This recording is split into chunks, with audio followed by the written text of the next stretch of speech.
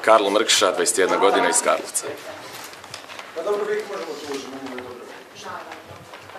Biti ili ne biti?